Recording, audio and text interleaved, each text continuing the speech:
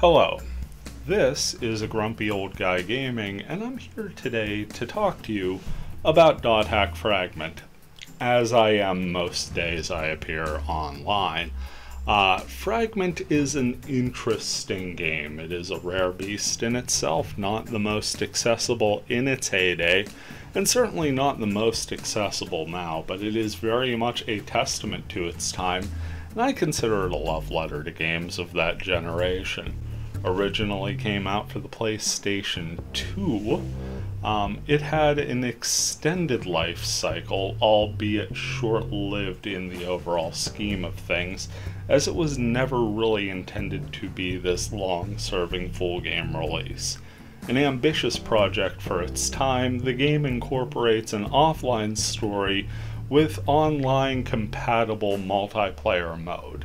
This isn't something that is fairly evocative of the modern MMO where you get into bustling root towns and hundreds of players are scattered throughout doing whatever because there are so many options, such deep game play, and so much story to go through that you'll never actually reach the end of it in a human lifetime if you were to delve through each little bit this game, Fragment, was designed for one to three players. Three player party multiplayer is where it's capped, and that is really where it is most fun because when you have a party of three people, you could sit there, you could chill out, chat, just have a fantastic time.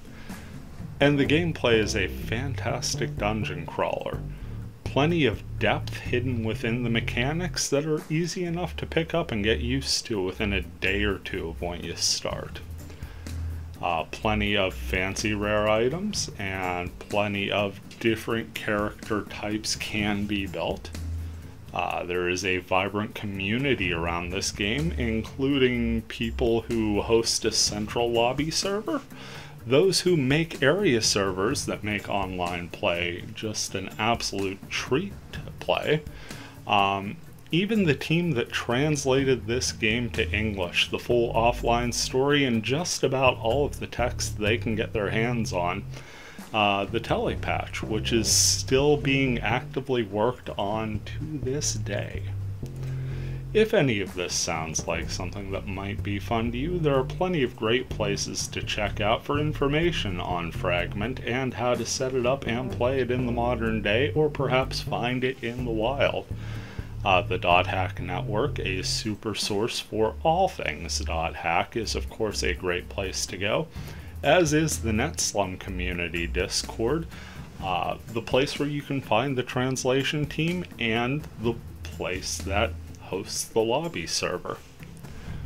Heck, you could even check out my channel where I've got maybe a few, yeah, a few videos on Fragment, including one that gets more in depth on this very subject, featuring a cast of players and some of the most lively conversation I can remember in any time. Uh, the point of what I'm talking about is more than simple enough to break down. Uh, Fragment is just plain and simple fun. So, again, if this sounds like something you may be interested in, please check it out. Any of the sources I've mentioned here, and I'll have them linked below. Thank you for watching. We'll see you around.